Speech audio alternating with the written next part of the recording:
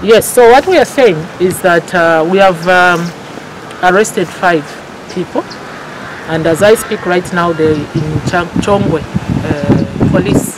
They're in custody at Chongwe police. Um, in terms of um, conniving, yes, there's a huge possibility because, like I said, um, these uh, drums conductors were at Mpansha substation, and um, I can confirm that actually one of the uh, arrested people was a security guard at Mpansha substation. But I think what we need to note is that this security guard was not a security guard from ZESCO, but an outsourced um, company.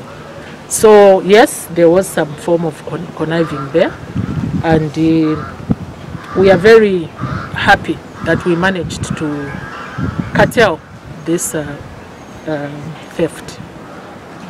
At what point were the uh, thieves arrested? Well, the thieves were arrested between uh, 2nd and 3rd July when they, they were about to join the main road from Mpansha.